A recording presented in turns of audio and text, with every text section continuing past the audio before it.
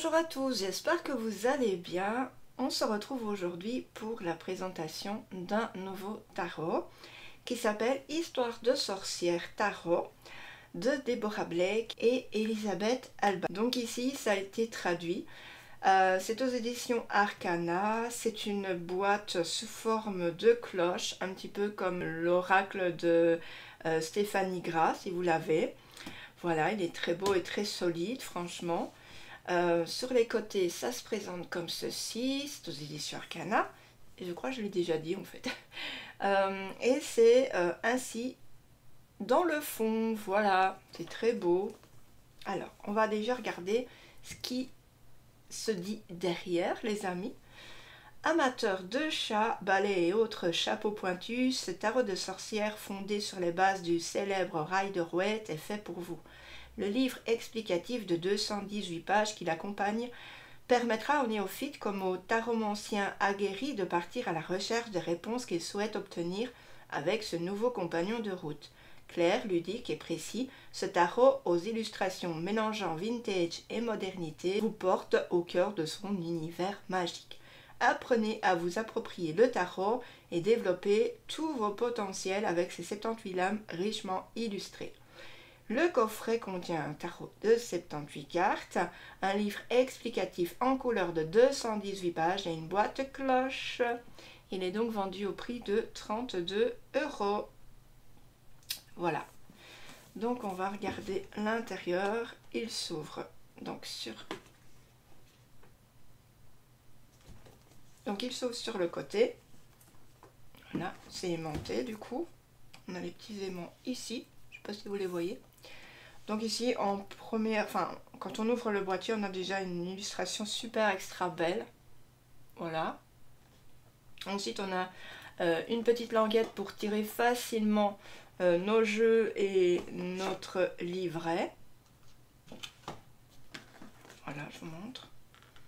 Moi, perso, je retourne toujours la boîte. Hein, voilà. Et ici, donc, on a un fond pour euh, ranger facilement le petit boîtier que l'on a en plus. Donc, j'aime beaucoup ce système. Euh, un grand boîtier, et à l'intérieur, on remet un petit boîtier qui va nous aider à protéger nos cartes. Ça, c'est super extra sympa. En plus, euh, j'aime beaucoup la languette. Un mauve pâle, très joli. Donc, ça, je vais le mettre sur le côté parce qu'autrement, j'aurais plus de place. Alors, déjà, on va regarder euh, le livret. Donc, un livret très très beau. Donc, il est tout doux euh, sur la couverture. Voilà. Donc, sur les côtés comme ceci. Voilà. Donc on va regarder un peu. Donc il est en couleur bien sûr. Ici euh, on a une superbe illustration. Voilà, j'aime beaucoup. Avec un très beau chat. Donc ça a été traduit par Hervé Solar Zik. Si je ne me trompe pas. Alors voilà, à propos de l'auteur, donc Deborah Blake, ici, et l'illustratrice Elisabeth Alba. Donc on va avoir un sommaire. On va avoir l'introduction, chapitre 1, chapitre 2, chapitre 3. Donc on va avoir les arcanes majeurs, on va avoir les arcanes mineurs. Voilà, un chapitre 4 et les conclusions. Donc, je vous avoue, je ne l'ai pas lu. Pourtant, ça fait quelques jours, enfin quelques temps que je l'ai. Euh, mais comme toujours, je suis assez euh, flemmarde au niveau euh, de lire les introductions. Donc de ce côté-là, je vous laisserai faire. Hein. Voilà. Donc à propos de ce jeu et comment s'en servir, comment faire un tirage, donc apprendre les cartes, faire un tirage.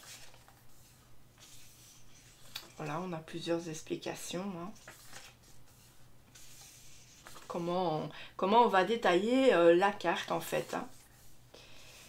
Euh, on a au niveau euh, des, chiffres, hein. Comme ça va jusqu'à 10 par exemple, je vais vous dire le 3 c'est plus un travail d'équipe ou de créativité, quand vous tirez par exemple le 3 de, de bâton, admettons, eh bien ça va être un travail d'équipe ou de créativité sur cette carte. Euh, par exemple, le 10, ça va être la complétude, quelque chose qui touche à sa fin ou un aboutissement, l'aboutissement de quelque chose. Voilà. Euh, ensuite, on va voir le chapitre 2, ça va être les questions euh, fréquentes et les réponses. Par exemple, qu'est-ce qu'un significateur et devez-vous vous en servir? Qu'est-ce qu'un clarificateur et devez-vous vous en servir? Quelles sont les cartes inversées et devrais-je m'en servir? Euh, et si j'ai de mauvaises nouvelles, toute une série de cartes effrayantes ou des réponses que je n'aime pas ou que la personne pour laquelle je fais un tirage n'aime pas, voilà, qu'est-ce qui arrive? Alors, euh, elle dit ici, je commence chaque tirage en disant, souvenez-vous que rien n'est gravé dans le marbre. Un tirage représente les probabilités telles qu'elles existent au moment de ce tirage. Donc bien souvent, un tirage offre au consultant des informations que euh, qui, s'il choisit de s'en servir pour modifier sa ligne de conduite ou ses schémas de comportement, peuvent donner des résultats complètement différents de celui qui avait été prédit.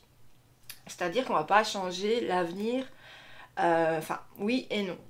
On va pas changer tout notre avenir bien sûr, mais en fonction de ce qu'on aura eu comme euh, réponse au niveau de la carte, si on vous dit, je ne sais pas moi, euh, vous allez avoir des disputes avec votre conjoint, eh bien, qu'est-ce que vous allez faire, vous? Moi, je pense que si j'avais ce genre d'informations, ce que je ferais, c'est que, voilà, je ferai attention à ce que je dis et à mes paroles. C'est un petit peu ça qu'on veut vous dire.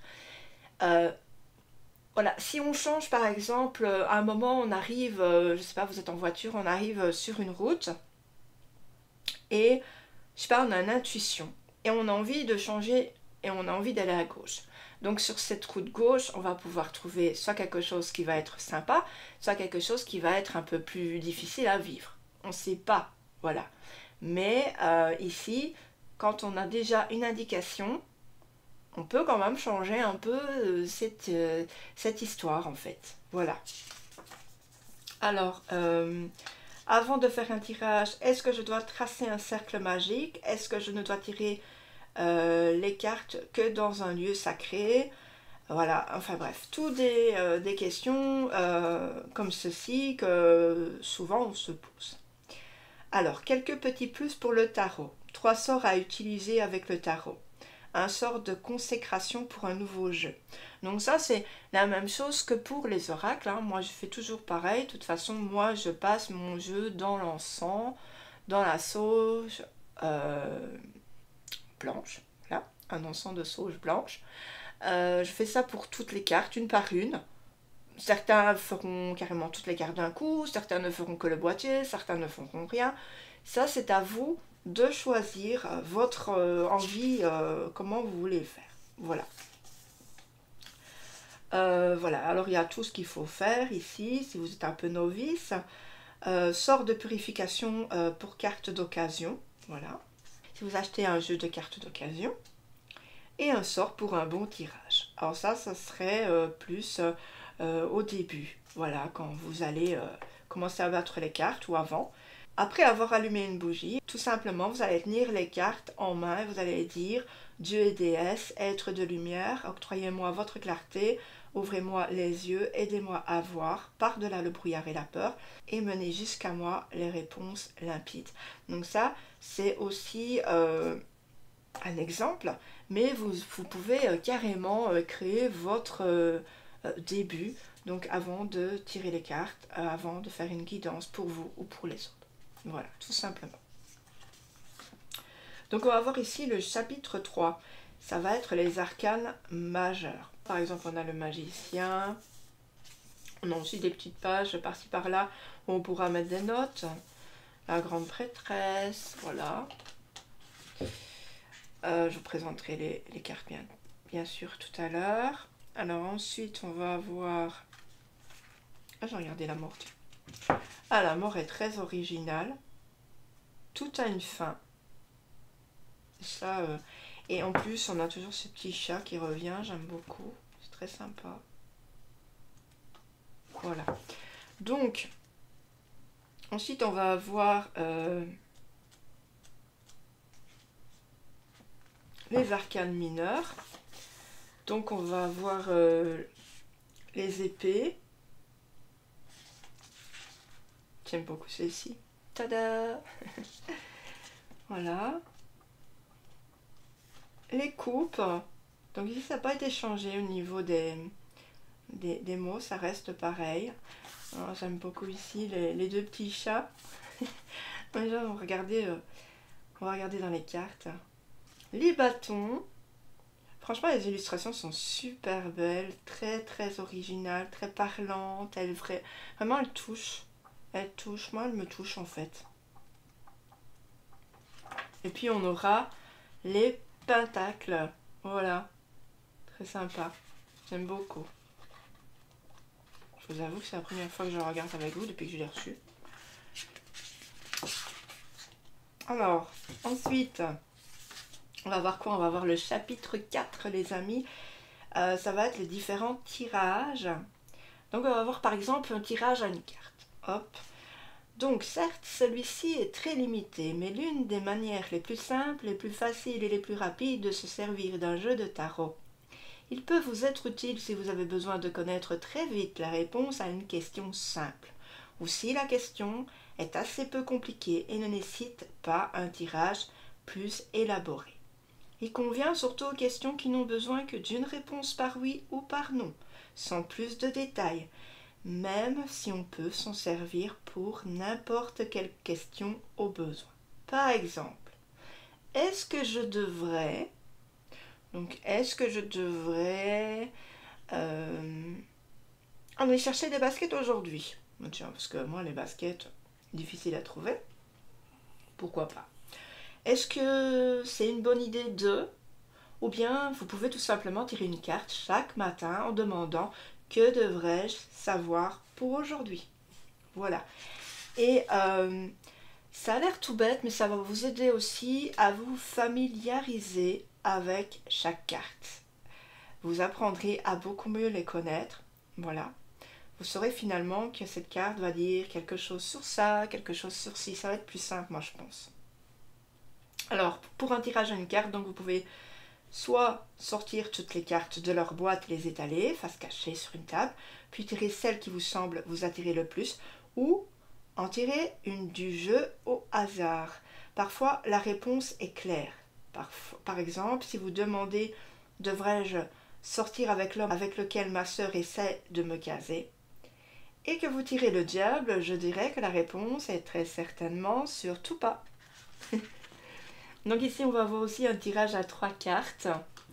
Voilà. Donc ici, ça va être plus euh, donc euh, passé, présent, futur. Si vous connaissez un peu. On va voir la croix celtique. Voilà. Donc c'est c'est pour les personnes qui ont plus, euh, qui ont plus de facilité hein, avec les tarots. Voilà. Et puis voilà. Et en conclusion, voilà. Et ici, j'adore le petit chat qui part et qui suit une guêpe ou une elfe. Voilà. Et derrière, ça se présente comme ceci. J'aime beaucoup. C'est très, très, très beau. J'aime beaucoup le livret. Très bien, très bien fait, très bien fourni. Alors maintenant, nous allons regarder les cartes. Donc ici, regardez, c'est très beau aussi. Voilà. Donc ça, c'est la, la force au niveau des cartes avec le lion. À l'intérieur, on a Il était une fois. Voilà. J'adore les, les boîtiers où il y a des, des impressions à l'intérieur. C'est tellement beau. Une petite languette pour enlever les cartes. Et on a une sorcière qui part sur son balai. Voilà. Donc maintenant, les cartes en elles-mêmes sont très belles. Euh, elles n'ont pas de dorure. Donc moi c'est toujours ce que je préfère parce que ça évite que les cartes collent. Elles n'ont pas, elles sont euh, euh, mates ici. Donc elles ont un dos euh, très bien fait. Voilà, deux chats. Un chat sorcier et un chat plus comme nous, normaux. et leur queue qui fait un petit, qui font un petit cœur. Ils sont sur un palais, bien sûr, avec des étoiles tout autour de la tête. et plein les yeux. Alors, donc on va regarder les cartes. Je vous retrouve tout de suite. Donc d'abord, on va avoir le magicien.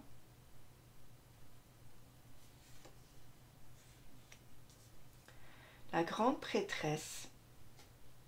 Donc ici, à chaque fois, on va retrouver le petit chat. Là, il joue avec les runes. J'adore. Je vais faire juste un petit zoom pour que vous les voyez bien comme il faut. Je ne veux pas en perdre une miette. On a l'impératrice ici. Donc ici, on a chien et chat. L'empereur. Où est le chat ici? Ah, il est sur les genoux de l'empereur. On a aussi un chien ici. On a le mât.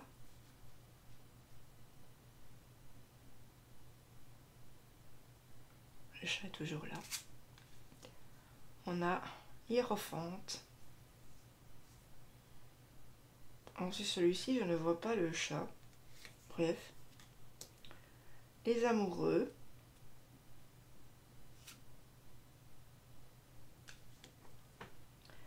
Le chariot, j'adore l'idée euh, du petit chat avec euh, le petit casque sur la tête. Alors ça nous dit bien aussi les imp en fait, les cartes, elles sont vraiment euh, intuitives aussi. Donc, on a ce chemin ou bien ce chemin au niveau du chariot. La force. La force tranquille, j'ai envie de dire. L'ermite. La roue de la fortune. J'aime beaucoup cette roue, elle est trop marrante. la justice. Alors j'aime bien on a deux chats différents, différentes couleurs aussi. Et euh, waouh, c'est génial. Alors, ici, on n'a pas le chat.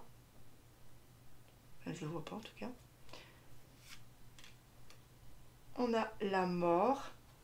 Comme je vous ai dit tout à l'heure avec le livret. Ici, on a la tempérance. Donc, euh, vraiment euh, le yoga tranquille on tempère ses énergies. Euh, on a le diable. Ah oui, ici vraiment le diable qui essaye par tous les moyens de tenter la petite fille et le petit garçon. Tiens, je t'offre des sous, tiens, je t'offre une bonne glace. Et, les chats qui sont là, non, non, non, non, surtout n'y allez pas, n'acceptez pas. On a la tour. On a l'étoile. Très beau. On a la lune. La lune. Euh, et on voit ce chat qui se regarde et, qui voit finalement qu'il a plus euh, de volonté finalement que ce qu'il veut bien euh, croire qu'il en a. Hein. Parfois on se rabaisse. On a le soleil. Magnifique. On a le jugement. le monde. Et voilà pour les cartes majeures. Je les trouve magnifiques, je les trouve aussi faciles d'interprétation, intuitives. Voilà, c'est pas pour tous les tarots qu'on a ça, moi je trouve. Majeur ici. Alors, on va avoir l'as d'épée. Donc c'est la partie épée. On a le corbeau dans le 2. Et toujours le petit chat. Donc ici, les épées, c'est toujours difficile parce que voilà, une épée, c'est pas, pas non plus quelque chose qui fait du bien hein, quand on est euh, euh, devant une épée ou quand on est transpercé par une épée. Bah, voilà, ça fait mal. Faut pas se voiler la face. Donc voilà, 10 d'épée.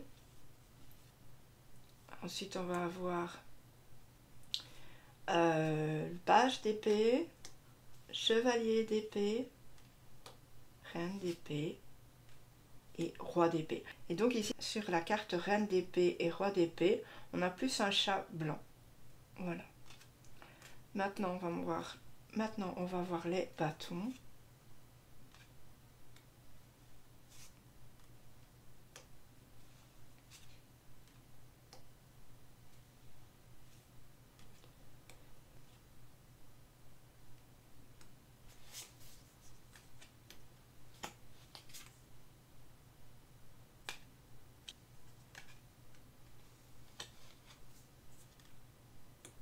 celle-ci, j'aime Voilà, on a, on a ce chat qui est sur son dos et qui lui dit vas-y, vas-y, continue, il l'aide, il l'encourage.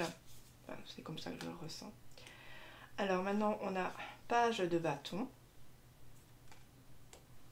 chevalier de bâton,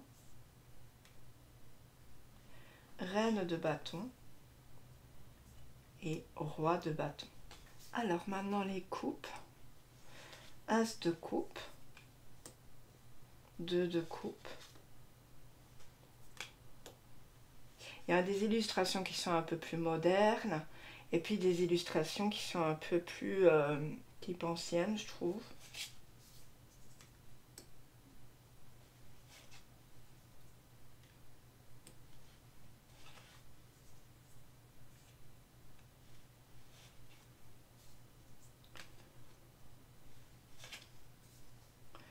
J'aime bien celle-ci parce que pour chaque coupe, on a quelque chose. Donc ici, on va voir le cœur, l'amour. Voilà, on va voir la maison, pourquoi pas. Donc c'est assez sympa.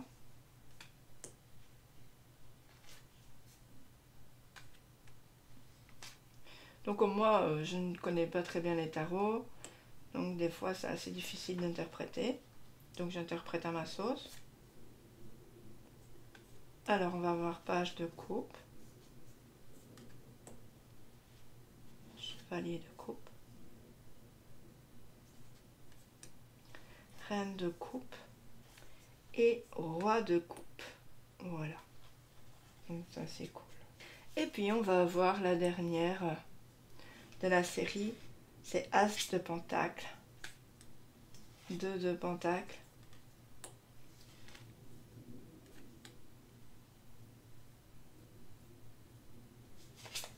Allez peut-être entendre des avions qui passent. 5 de pentacle. J'aime beaucoup celle-ci.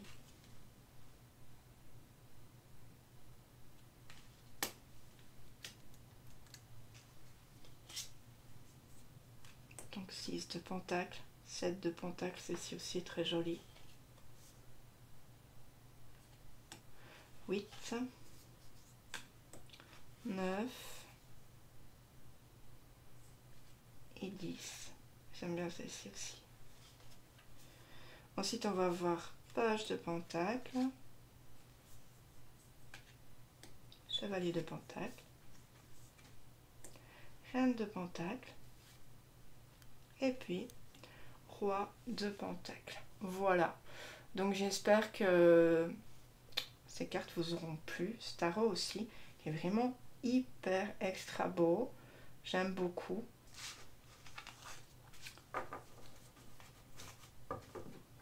J'avais envie de vous faire une signification.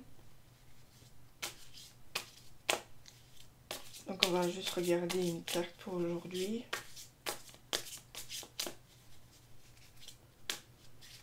Donc par exemple, que devrais-je savoir aujourd'hui? Bon, sachant qu'il est 2h03 quand je fais cette vidéo, mais c'est pas bien grave.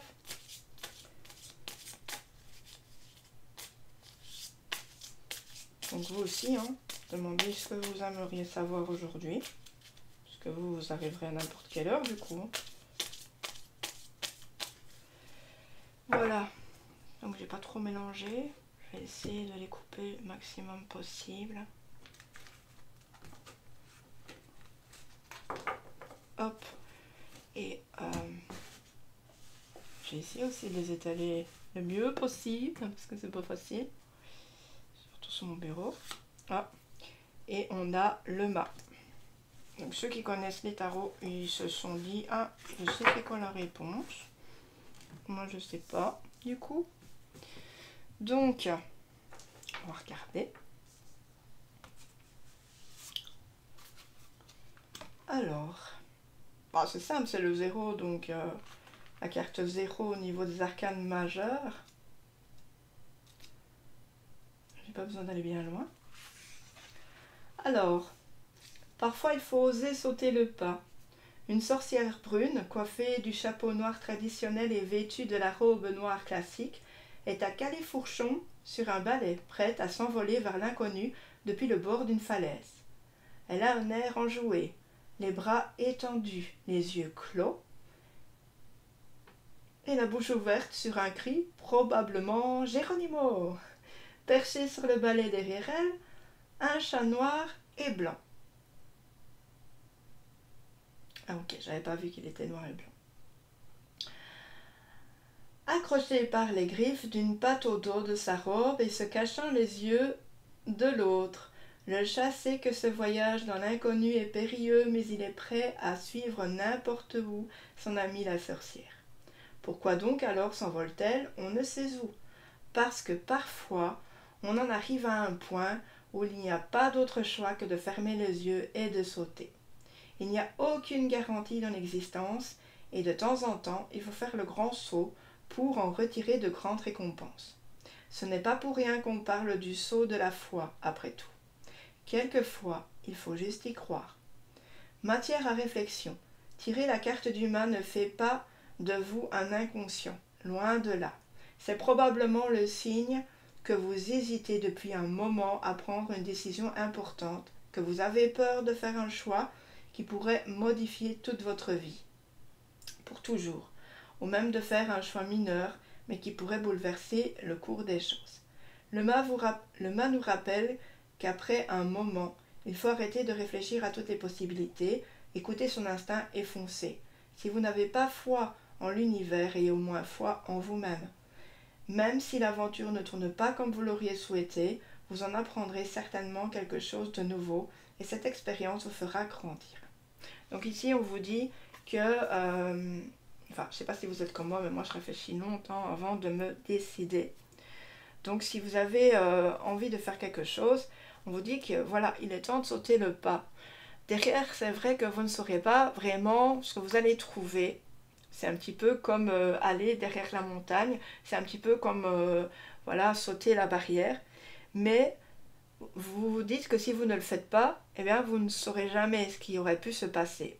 Admettons, vous avez envie de faire une rencontre sérieuse et vous avez quelqu'un euh, en vue et vous avez peur parce que vous ne savez pas si cette personne elle ressent les sentiments que vous ressentez vous-même.